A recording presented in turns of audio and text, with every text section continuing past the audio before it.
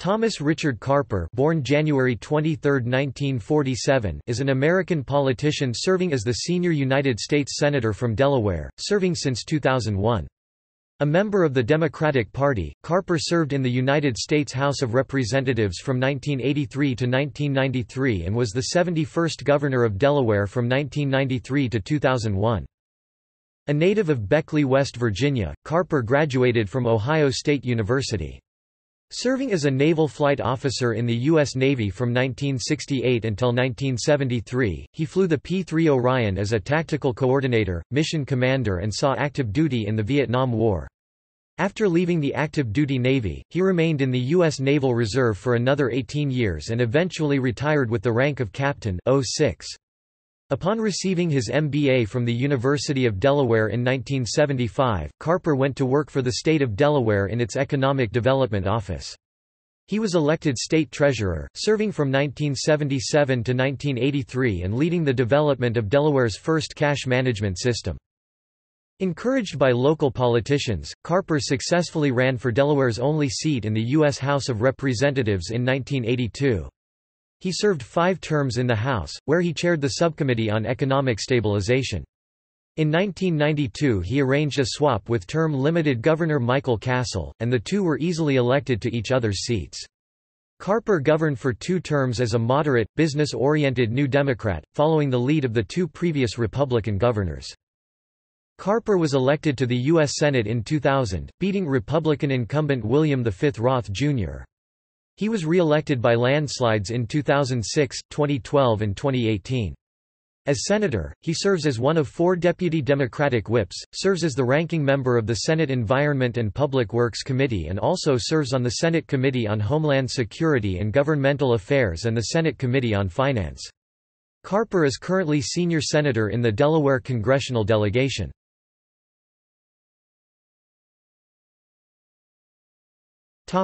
Early years and personal life Carper was born in Beckley, West Virginia, the son of Mary Jean Patton and Wallace Richard Carper.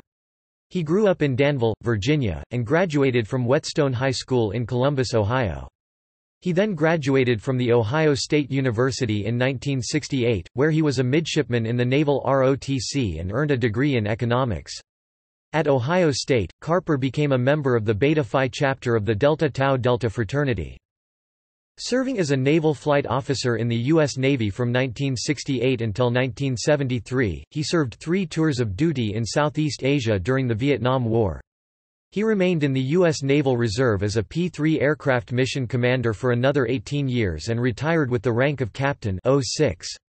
Meanwhile, he moved to Delaware and earned a MBA from the University of Delaware in 1975. After which he went to work for the Economic Development Office for the state of Delaware. Carper married Martha Ann Stacy in 1985, and with her he had two children, Christopher and Benjamin. The family are members of Westminster Presbyterian Church in Wilmington, Delaware.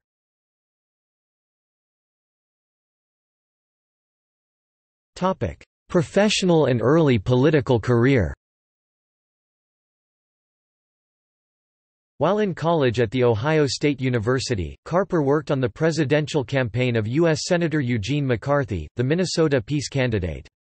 In Delaware he worked as the campaign treasurer for University of Delaware professor James R. Soles in his unsuccessful 1974 bid for the U.S. House of Representatives. After receiving his MBA degree in 1975, Carper went to work for the state of Delaware's Economic Development Office.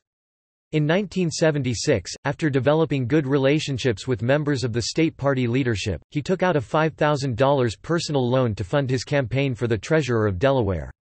After convincing the party leaders, and later the voters, that he was the right person to be Delaware state treasurer, he defeated the favored Republican Party candidate, Theodore Jones. He served three terms, from January 18, 1977 through January 3, 1983, during which time he oversaw the development of Delaware's first cash management system.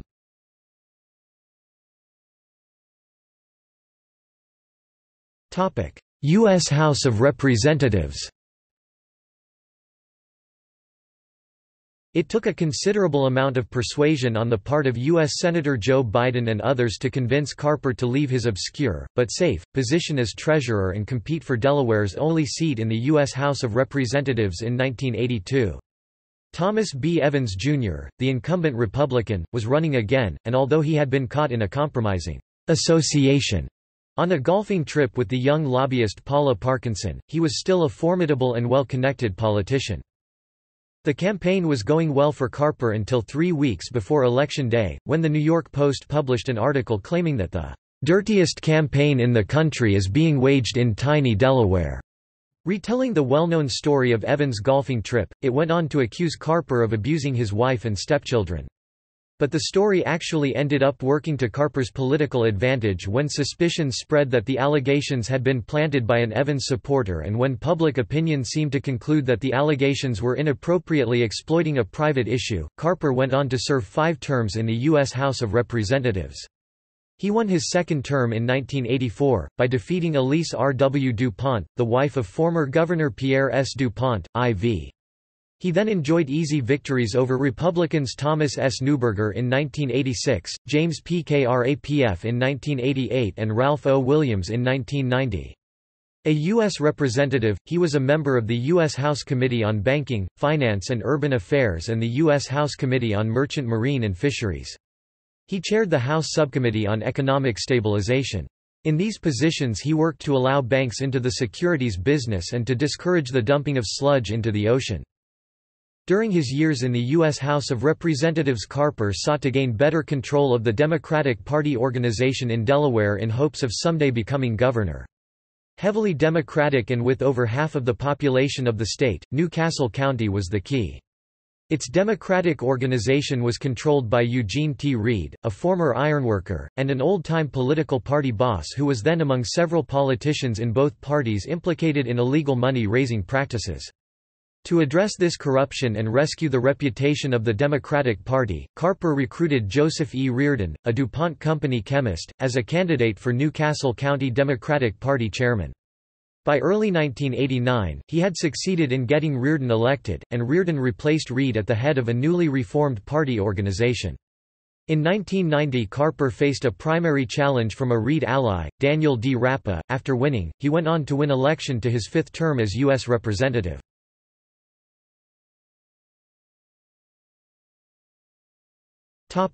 Governor of Delaware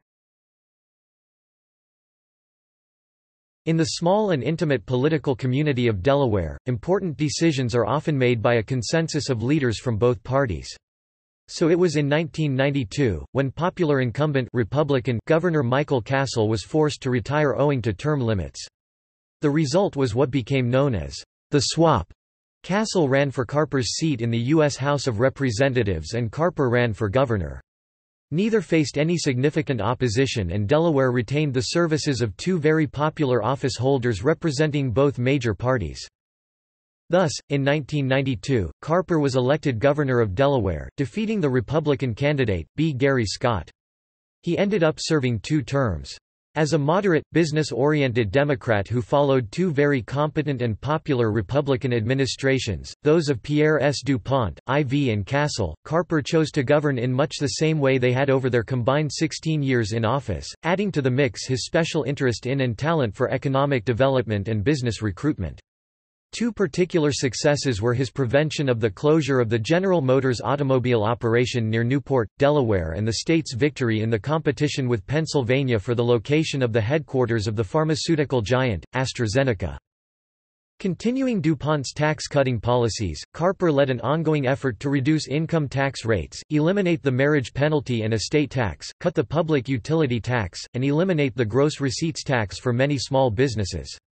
By doing so, his administration improved the state's credit rating from among the worst in the nation to an excellent AAA. He also retained Castle's standards-based education programs, raising standards, testing students, and pushing through a teacher accountability bill. Other programs included a fully funded Head Start program and the creation of a prescription drug benefit for seniors. Carper's independent, New Democrat approach made him popular among voters, but caused grumbling among old-line Democrats, particularly union leaders, who complained that not enough of them were being awarded patronage jobs after the many years of Republican control. In an era of increasingly bitter, partisan politics, Carper's actions and policies placed him at the political center, in keeping with Delaware's consensus style of governing. The most poignant event during this period was the murder of Carper's personal scheduler, Anne-Marie Fahey, and the eventual conviction of Thomas J. Capano for the crime. Capano was a wealthy, well-connected lawyer, known to nearly everyone in Delaware's political community. Fahey, a 30-year-old member of another well-known family, was attempting to end a romantic relationship with the married Capano, when he murdered her and dumped her body in the Atlantic Ocean. U.S. Attorney Colm F. Connolly built the case against Capano, who was tried and convicted, then sentenced by Delaware Superior Court Judge William Swain Lee. As a tribute to Fahey, who had been a youth mentor, then Governor Carper also became a mentor, and began actively promoting mentoring programs throughout Delaware's business community. As a result, by the end of his last term, Delaware held the highest per capita ratio of youth mentors in the country. Carper also established the Delaware Mentoring Council to help sustain this important legacy.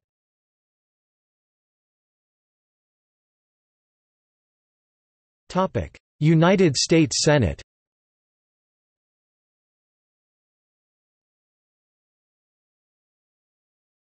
Topic: Elections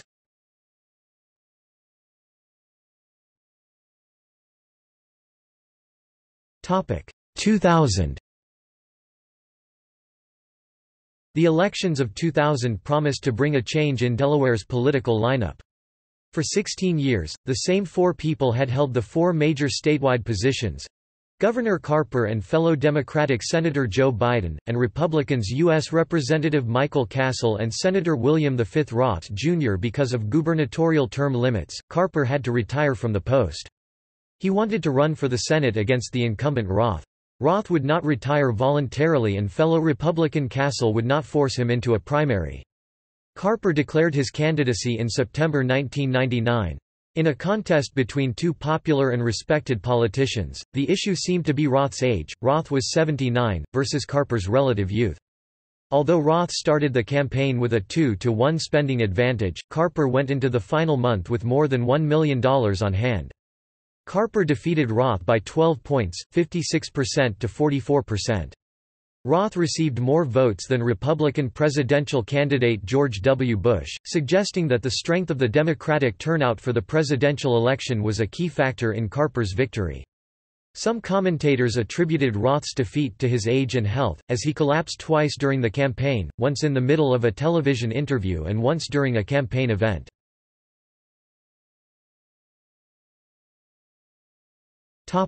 2006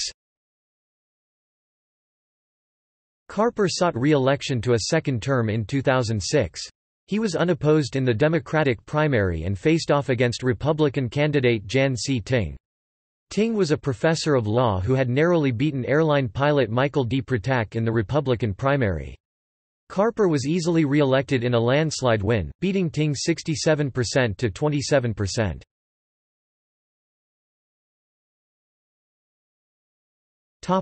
2012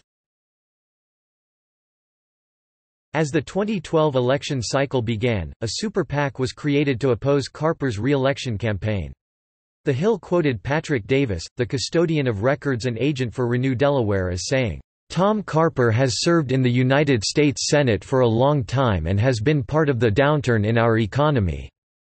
Delaware politics noted that the election would be costly for the Republican candidate and that the popular Carper was heavily favored to win a third term in office. A Carper spokesperson, Emily Spain, was quoted in The Hill saying that Carper was successful in his previous campaigns, "...because he works hard, takes nothing for granted, and puts the needs and interests of Delaware first." Carper won the Democratic primary with 88% of the vote and faced off against the only Republican candidate who filed for the race, businessman Kevin Wade. Carper was re-elected in another landslide, beating Wade 66% to 29%.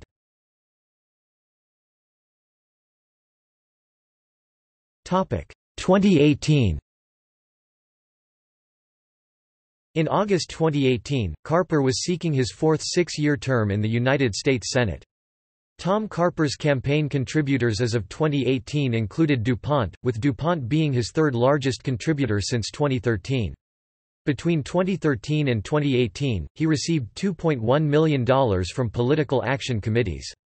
Carper was challenged from the left by Kerry Evelyn Harris, a U.S. Air Force veteran. She contrasts with Carper in that she advocates a single-payer healthcare system, and Carper wants to keep working on the Affordable Health Care Act. Carper defeated Harris in the primary election with roughly 65% of the vote.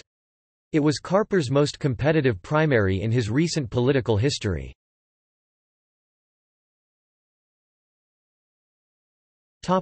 Tenure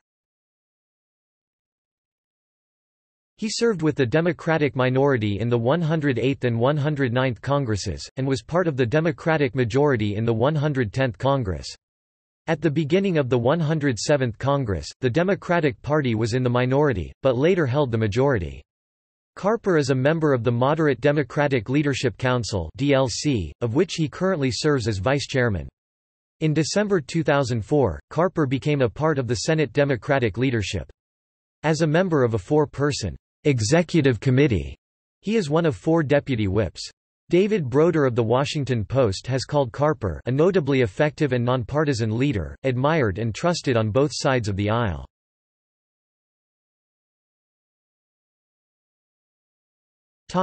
Political positions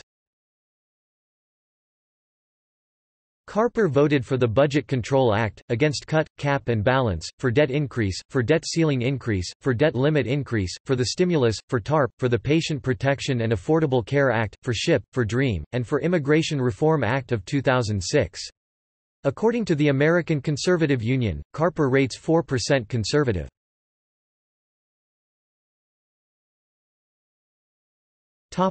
Abortion Carper has a mixed record on abortion issues.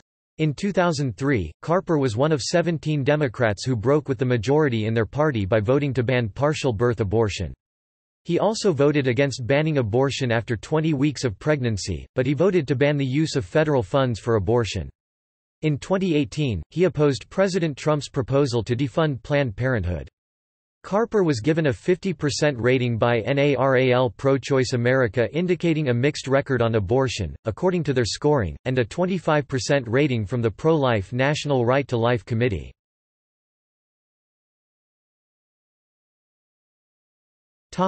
Gun law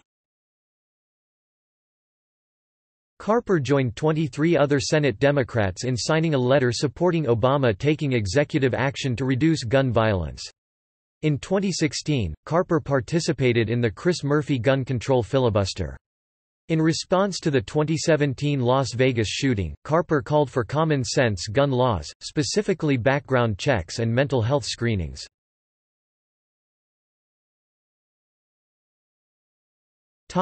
Finance and economy He joined in the unsuccessful attempt to tie the Bush administration tax cuts to deficit reduction and has supported additional funding for school choice programs and charter schools. He has also sought additional funding for railroad projects and for rail security.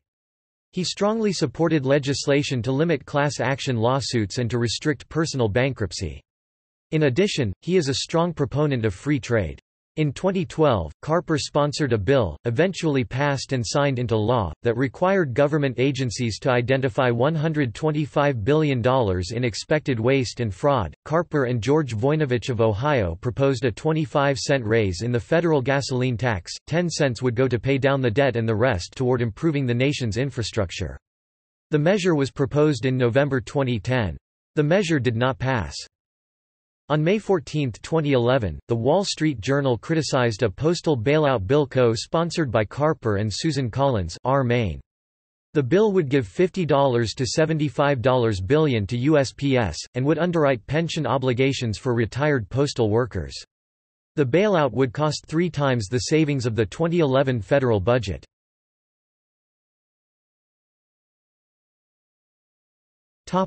Environment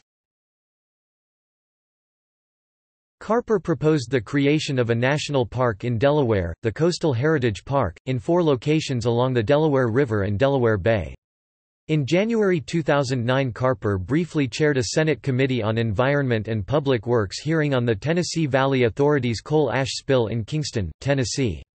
However, he did vote for Keystone XL pipeline, but has since expressed disappointment in that vote. Carper supports the EPA and Clean Air Act and blames states to the west of Delaware for its air pollution, calling them America's tailpipe.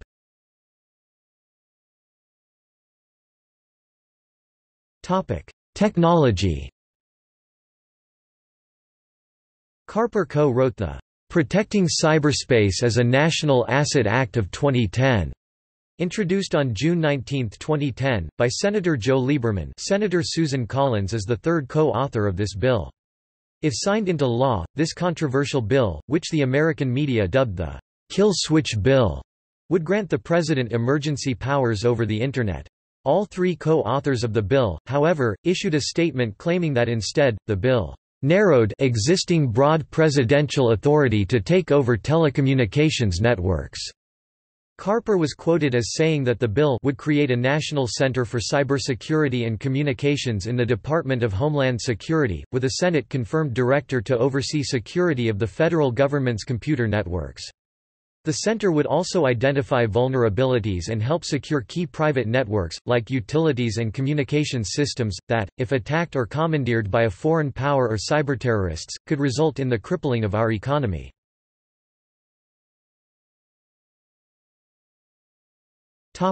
Consumer regulations In May 2010, Carper introduced an amendment to limit state regulators from enforcing consumer regulations on national banks and their subsidiaries. It would also remove a Senate legislative measure requiring the Office of the Comptroller of the Currency to find a substantive standard on regulation, before the office could move to preempt. The White House opposed Carper's amendment. The amendment passed by a vote of 80–18.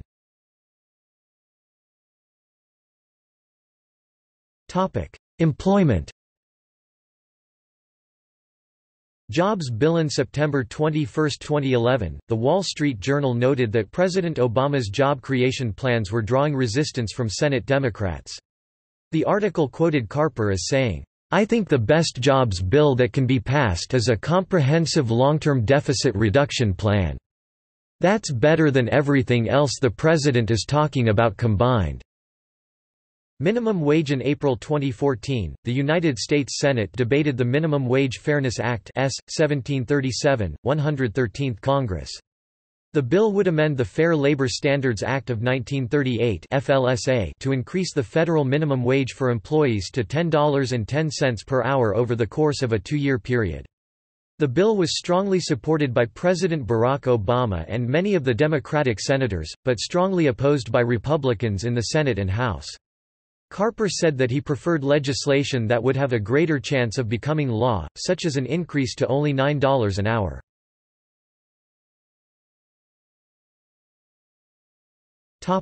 Same-sex marriage and LGBT issues.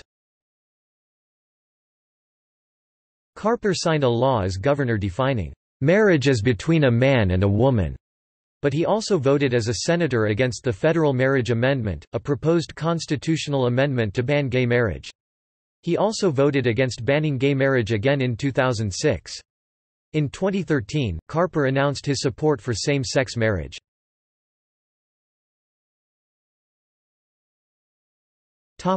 Iraq War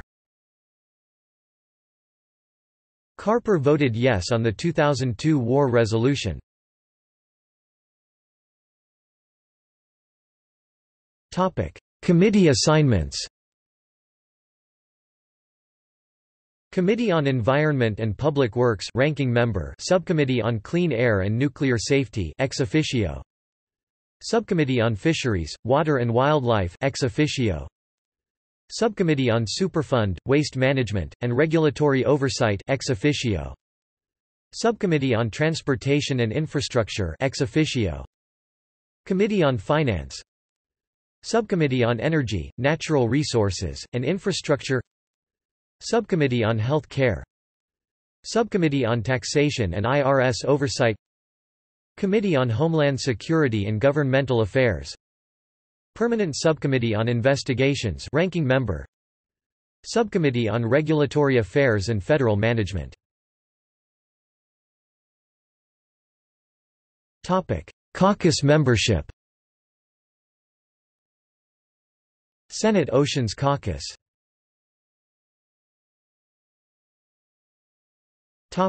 Personal life Unlike most senators, who maintain residences in both Washington, D.C., and in their home state, Carper commutes more than 100 miles by Amtrak train from his home in Wilmington to the United States Capitol. Carper says this arrangement has helped his family live a normal life despite his demanding, high-profile job. On May 12, 2015, he narrowly escaped injury when the train he took home derailed and crashed in Philadelphia shortly after he deboarded. Carper has been married twice, first in 1978, to Diane Beverly Isaacs, a former Miss Delaware, who had two children by a previous marriage. They divorced in 1983. In a 1998 interview, Carper admitted, I slapped my then wife, Diane, during a heated argument, describing it as a mistake. A New York Post article in 1982 stated that Carper claimed he hit her, "...so hard he gave her a black eye." and that his wife's two children from a previous relationship were slapped around and bruised by Carper for doing such things as leaving the family dog on the bed.